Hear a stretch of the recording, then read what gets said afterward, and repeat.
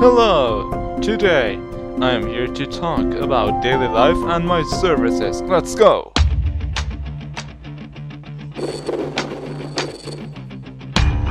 So, as you might already know, DL is down for a couple of days due to some server and service issues, which it will be come it, it will come up as soon as possible within next week and we will have DL 2.11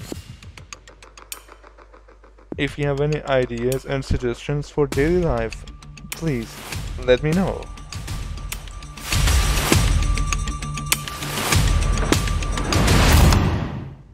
About TWZ TWZ 0.30 or 0.3 is a thing that I'm working on. Suggestions are welcome. We need over 30 suggestions.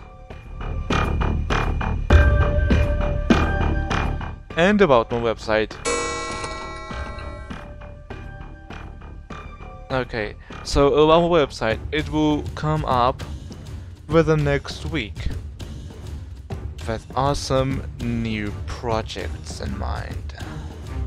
Please be patient.